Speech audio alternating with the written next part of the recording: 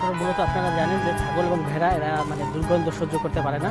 এই জন্য আর কি আমরা মাচা আকারে তৈরি করে দিচ্ছি যাতে মলমূত্রটা তাড়াতাড়ি নিচে পড়ে যায়। এবং আমরা প্রথম কাজ যেটা কাজটা হয়, কিছু খাবার এবং পানি রেডি করে দিয়েই ছাগলগুলো এবং ভেড়াগুলো চারণ ভূমিতে ছেড়ে দেওয়া হয়। ছেড়ে দেওয়ার পরে এটা একবারে পরিষ্কার করা হয়।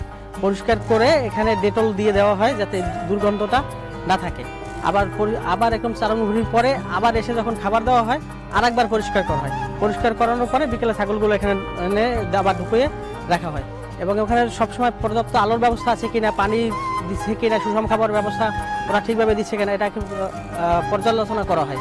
এবং প্রতি পনেরো দিন পর পর এটা ডাক্তার এসে পরীক্ষা করানো হয় যে ছাগলের স্বাস্থ্য ঠিক আছে কিনা বা খাবার পরিবর্তন করতে হবে কিনা। ডাক্তারের পরামর্শ ক্রমে আমরা ছাগল বা ভেড়ার খাবারটার মানটা নিয়ন্ত্রণ করে থাকি। এবং এখানে দেখা যায় যখন কোনো ছাগল বা ভেড়া অসুস্থ হয়, তখন আমরা ডাক্তারে এসেই এই পরীক্ষার মাধ্যমে ডাক্তার যেভাবে সাজেস্ট করে, আমরা ওইভাবে ব্যবস্থা গ্রহণপত্র গ্রহণ করে থাকি। আরেকটা বিষয়, আমাদের এখানে প্রায় সাতজন রাখাল আছে। ওরা সার্বক্ষণিক এই ছাগল এবং ভেড়া পরিচর্যার কাজে ব্যস্ত থাকে। চারণ করা, খাবার দেওয়া, পানি ব্যবস্থা করা এবং আলোর স্বল্পতা আছে কিনা বা পর্যাপ্ত আলো আছে কিনা, সুষম খাদ্য ঠিকভাবে পাচ্ছে কিনা, ছাগলগুলোর শারীরিক অবস্থা ঠিক আছে কিনা, এভাবে ওরা সবসময় পরিচর্যা করে থাকে। সকাল টু সন্ধ্যা পর্যন্ত এই সাতজন রাখাল থাকে যারা আমাদের এই ছাগলগুলোর পরিচর্যার দায়িত্বে থাকে। এই যে ছাগল এবং ভেড়া থেকে আপনারা মাংস উৎপাদন করছেন তো এই যে মাংসগুলো উৎপাদন করছেন এগুলো আসলে কীভাবে বাজারজাত করে থাকে হালিশরের মানে মাঠ নামে একটা সুপার শপ আছে যেটা চট্টগ্রামের সর্ববৃহৎ সুপার শপ হালিশর মাঠ। এখানের গ্রাহকদের চাহিদা পূরণ করতেই এখানের মাংসগুলো ওখানে বাজারজাত করা করা হয়। চাহিদাটা পূরণ করতে পারি না কারণ আমাদের জায়গার সংকুলন আরও যদি সরকার মানে আমাদেরকে বিভিন্নভাবে একটু সহযোগিতা করে থাকে, তাহলে আমরা একটু খামারটা পরিধি বাড়াইতে পারলে হয়তো গ্রাহকের চাহিদাটা একটু পূরণ করা আমাদের জন্য সহজ হবে। এখানে ছাগল ও ভেড়া লালন পালন করে এই খামারের আকার খুব দ্রুত বড় করে তোলেন, যার মাধ্যমে তিনি দুধ, মাংস ও পশম উৎপাদন করছেন। এখানে উৎপাদিত দুধ ও মাংস চট্টগ্রামের হালি শহরে অবস্থিত। হালিশহর মাঠে বিক্রি করে থাকেন এই যে আপনি ছাগল এবং ভেড়া লালন পালন করছেন, খামার গড়ে তুলেছেন প্রথমে কেমন ছিল? পথটা আপনি ছাগল ভেড়া দিয়ে শুরু করেছেন? আমরা উনিশশো উনিশ সালে পাঁচটা ভেড়া একটা, পাঁচটা ছাগল ছিল। এটা দিয়ে আমরা শুরু করেছি। আর ছাগল এবং ভেড়া পালার পিছনে আমাদের একটা উদ্দেশ্য হলো, আমাদের একটা ডেইরি ফার্ম আছে। যে ডেইরি থেকে যে উৎকৃষ্ট যে খাবার থাকে, যা আমরা ছাগল এবং ভেড়া এইটা দিয়েই খাওয়ানো হয় ছাগল এবং ভেড়ার জন্য। আশানুরূপভাবে খাদ্যর দরকার হয় না। উৎকৃষ্ট খাবার থেকেই কিন্তু দেখা গেছে এখন আমার প্রায় একশো ছাগল এবং ভেড়া আছে। একশো ছাগল ভেড়ার খাবার কিন্তু ওখান থেকেই আমরা সংগ্রহ করে থাকি। ছাগল এবং ভেড়া আপনি লালন পালন করছেন। এটা আসলে কি পদ্ধতিতে লালন পালন করছেন? একটু যদি আমাদের একটু বলতেন। মানুষের যেভাবে ভিটামিনের দরকার হয় ক্যালসিয়ামের দরকার হয় ছাগল ভেড়াকে ওইভাবে আমরা ইঞ্জেকশন দিয়ে থাকি। তবে ভেড়ার কিন্তু রোগ না বললেই চলে। ভেড়া কিন্তু কোনো রোগ বালাই থাকেই না এবং মাঝে বছরে আমরা দুইটা ভ্যাকসিন দিলেই যথেষ্ট যাতে কোনো রোগ না হয়। আর এর জন্য আমাদের একজন ডক্টর আছেন, ডক্টর মতিউর রহমান। উনি প্রতি সপ্তাহে এসে আমার ছাগল এবং ভেড়াগুলার দেখে যায় যদি কোনো ট্রিটমেন্ট লাগে, উনি সাথে সাথে দিয়ে থাকে। এবং এখানে খুব লাভজনক একটাই ছাগল এবং ভেড়া কিন্তু বছরে দুইবার বাচ্চা দিয়ে থাকে। একের অধিক বাচ্চা দিয়ে থাকে, যার জন্য কিন্তু স্বল্প সময়ের ভিতরে আমরা অধিক সংখ্যক ছাগল ভেড়া উৎপন্ন করতে পারি। এবং এটা যথেষ্ট পরিমাণে আমাদের মাংসের চাহিদা পূর্ণ করে থাকে ছাগল ভেড়া। আমরা সবাইকে অনুরোধ করব, যারা শিক্ষিত বেকার যুবক আছেন, আপনারা ছাগল ভেড়ার খামার করেন এবং অর্থনৈতিক স্বাবলম্বী ফিরে আনেন। এবং এ ব্যাপারে যদি আমাদের সরকার প্রধান যদি ক্ষুদ্র ইন্টারেস্টে লোন দিয়ে থাকে তাহলে আমার মনে হয় উৎসাহী হবে শিক্ষিত বেকার ভাইয়েরা। এবং স্বল্প জায়গা ভিতরে কিন্তু খামার করা যায়। এবং দুই লেয়ার বিশিষ্টও কিন্তু করা যায় যাতে ছাগল ভেড়া থাকবে এবং মলমূত্র থাকবে না। এবং এটা পরিষ্কার পরিচ্ছন্ন কিন্তু এটার প্রথম শর্ত। যদি আমরা পরিষ্কার পরিচ্ছন্ন রাখি, তাহলে কিন্তু আমাদের ছাগল এবং ভেড়ার কোনো অসুখ হয় না বললেই চলে।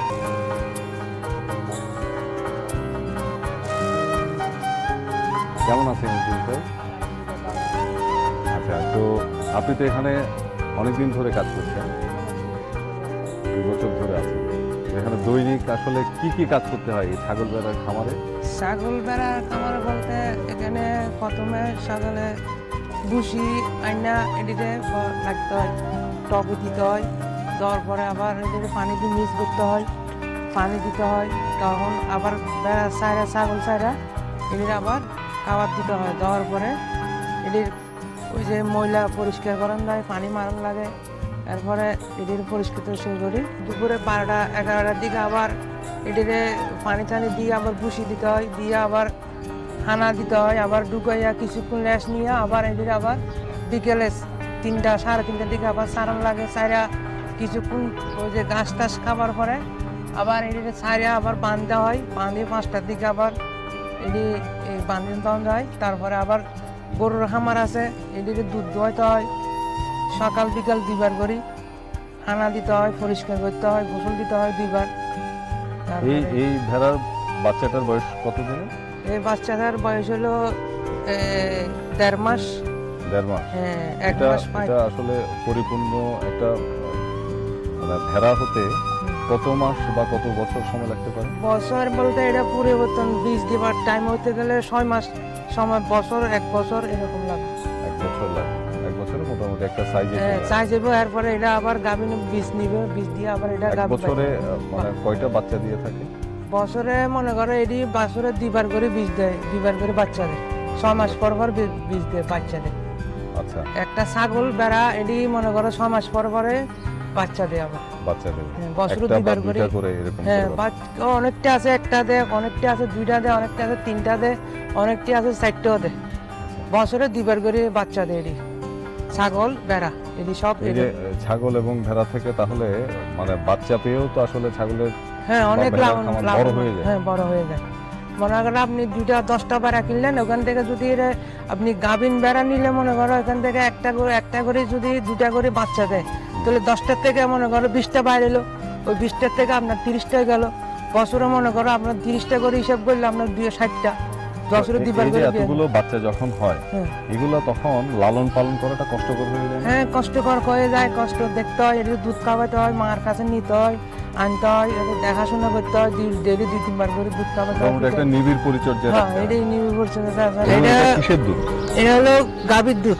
আচ্ছা গাভীর দুধ। এটারে মনে করো মা দুধ খাবায় না এর লেগে এটারে কমসে কম দুই মাস দুধ খাবার লাগবে। দুই মাস পর্যন্ত এমনি নর্মালি মনে করো একটা বাচ্চা দুধ ছাড়ানো তিন মাস লাগে। তো এটা তোলা বা বা আমরা ফিটারে যদি দুধ খাবাই এটা দুই মাস খাবার লাগবো।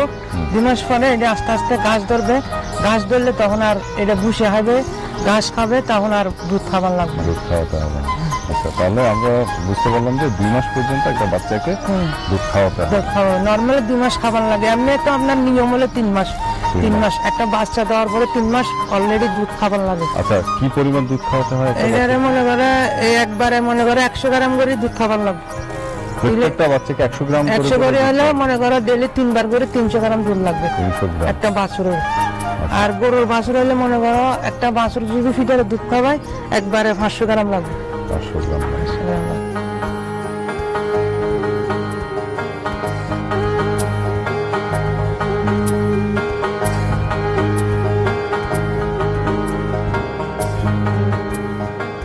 আমাদের দেশে সাধারণ মানুষের আর্থসামাজিক এবং পুষ্টিগত অবস্থা উন্নয়নের সহায়ক হিসেবে গরু ছাগল মহিষ ভেড়া পালনের বিষয়টি গ্রামীণ কৃষক পর্যায়ে সর্বত্র বিবেচিত হয়।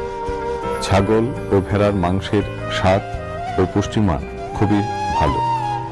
ছাগল ও ভেড়া একই খামারে বা ঘরে লালন পালন করা যায়।